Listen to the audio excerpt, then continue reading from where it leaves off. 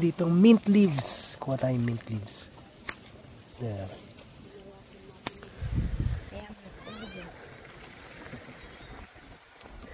Look guys, kung saan tayo naglalakad, tumutubo yung mga mint na halaman. Ligaw na mint. So, kumuha tayo ng mint leaves, gagawa tayo ng mojito. Mint leaves for mojito.